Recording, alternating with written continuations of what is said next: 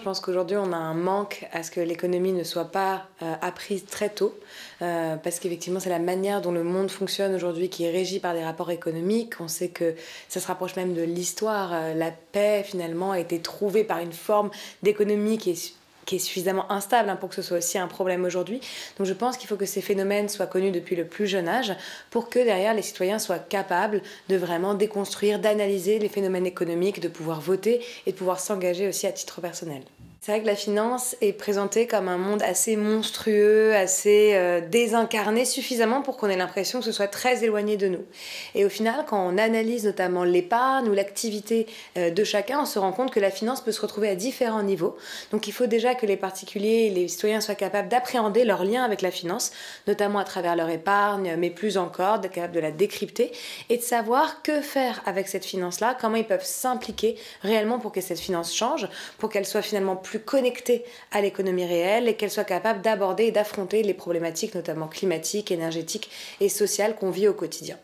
On a lancé récemment une application qui s'appelle Rift qui permet de créer justement des circuits courts entre l'épargne, l'assurance vie, les livrets A, les livrets développement durable et réellement les conséquences que cette épargne a, c'est-à-dire en matière euh, géopolitique et économique, parce que derrière un produit d'assurance vie se cachent euh, des réalités de dette souveraine, se cachent des entreprises qui polluent, se cachent des entreprises qui ont des impacts sur la société et on a voulu décrypter ces impacts-là pour que les particuliers puissent réallouer leur épargne. Aujourd'hui, 5000 milliards d'épargne sont investis essentiellement dans des secteurs très traditionnels et on veut opérer justement ce passage euh, d'une épargne très carbonée, une épargne assez prédatrice, à une épargne qui est plus inclusive et capable d'affronter les problématiques écologiques qui nous attendent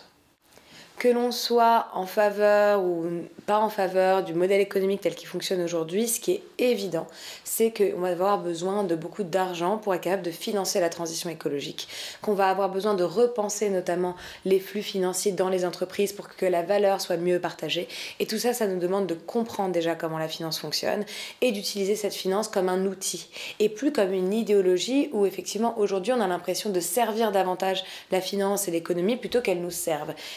Y a une phrase assez intéressante que disent notamment les, les ministres euh, finlandaises et, et euh, nouvelle-zélandaises, qui est que l'économie aujourd'hui n'est plus au service des gens, mais que les gens sont au service de l'économie et que l'État doit justement protéger euh, ces personnes-là pour retrouver un contrat sain et économique. Et c'est vraiment ce qu'on veut créer et opérer aujourd'hui. Donc l'ITA.co, j'ai créé cette structure il y a 7 ans avec comme objectif de créer ces circuits courts entre les particuliers, l'épargne et puis des entreprises qui développent des énergies propres, des logements sociaux, des solutions euh, notamment de réduction de nos émissions dans le secteur textile, agroalimentaire, etc. Donc on collecte de l'épargne auprès du grand public à travers une plateforme et puis on l'investit, enfin les particuliers décident de l'investir directement dans des entreprises qui leur ressemblent plus, qui ne sont pas dans les marchés financiers, qui ne sont pas dans l'économie classique et qui apportent réellement des solutions de transition globale à notre économie. C'est vrai que je parle beaucoup des femmes dans mon livre, d'une part parce qu'elles ont été les oubliées de l'histoire, c'est-à-dire qu'elles ont fait partie de la vie économique mais on a souvent silencié leur présence, mais aussi parce qu'elles essaient aujourd'hui de proposer un nouveau modèle. On se rend compte que par construction sociale,